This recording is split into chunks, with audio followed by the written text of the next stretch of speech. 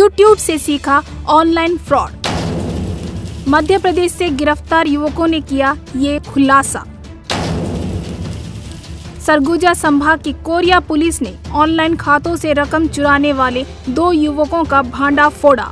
मध्य प्रदेश के रीवा के इन दोनों आरोपियों ने सोनहत निवासी एक व्यक्ति के खाते से लाखों की रकम पर हाथ साफ़ कर लिए और इस अपराध को अंजाम देने के लिए इन्होंने YouTube का सहारा लिया।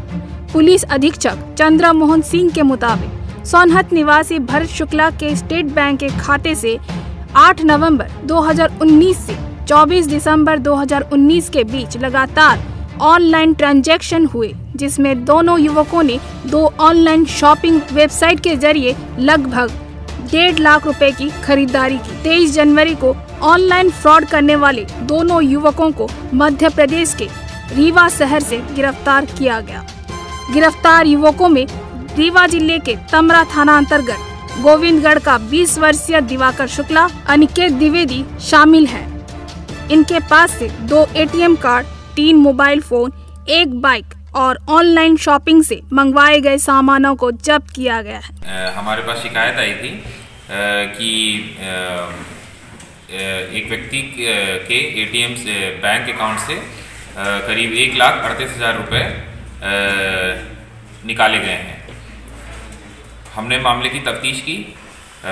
तो पता चला कि रीवा में दो लोग हैं जिनके अकाउंट में ये पैसा ट्रांसफ़र हुआ है। उन्होंने फिर उस पैसे से फ्लिपकार्ट शॉपिंग की है। उससे कुछ सामान खरीदा है। प्लस एक मोटरसाइकिल खरीदी थी, बजाज पल्सर 150 सीसी हमने उनको फॉलोअप किया और कल रीवा में दबिश देके सामान के साथ दो व्यक्तियों की गिरफ्तारी की है। इन युवकों ने पुलिस को बताया कि दोनों ने यूट्यूब से ऑनलाइन फ्रॉड का तरीका सीखा था।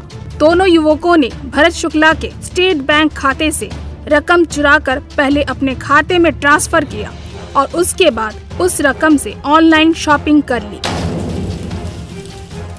बहरहाल, दोनों आरोपियों को जेल भेज दिया गया है। कोरिया से चंद्रकांत पारगिर की रिपोर्ट, देश टीवी।